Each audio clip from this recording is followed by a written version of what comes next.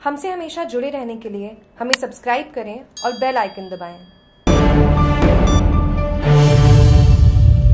बाड़मेर में एसीबी की कार्रवाई, दस हज़ार की रिश्वत लेते हुए कांस्टेबल और दलाल गिरफ़्तार बाड़मेर थाना नगरी जिला मुख्यालय राजस्थान में भ्रष्ट अधिकारियों और कर्मचारियों के खिलाफ भ्रष्टाचार निरोधक ब्यूरो द्वारा लगातार ताबड़तोड़ कार्रवाई की जा रही है इसी कड़ी में भ्रष्टाचार निरोधक ब्यूरो बाड़मेर की टीम ने सोमवार सुबह बाड़मेर के ग्रामीण थाना के हेड कांस्टेबल को दस हज़ार की रिश्वत लेते हुए उसके दलाल के साथ गिरफ़्तार किया है। वहीं एसीबी आगे की कार्रवाई कर रही है। बाड़मेर ज़िले में भ्रष्ट अधिकारियों और कर्मचारियों के खिलाफ एसीबी का हल्ला बोल जारी है।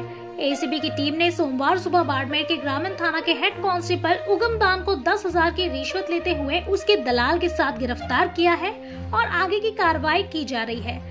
भ्रष्टाचार निरोधक ब्यूरो बाड़मेर के एएसपी रामनिवास सुंदर ने बताया कि परिवादी भगा राम ने एसीपी ने परिवाद पेश किया था।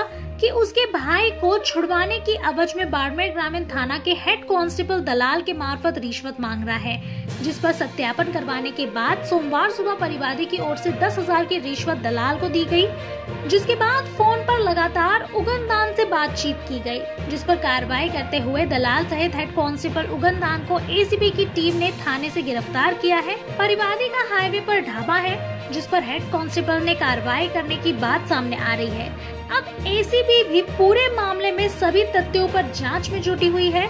गौरतलब है कि बाड़मेर ज़िले में पिछले कुछ महीनों से एसीबी भी लगातार ताबड़तोड़ तरीके से भ्रष्ट अधिकारियों और कर्मचारियों के खिलाफ कार्रवाई करती नज़र आ रही है, जिसके बाद भ्रष्ट अधिकारियों और कर्मचारियों में हड़कम मचा हुआ है।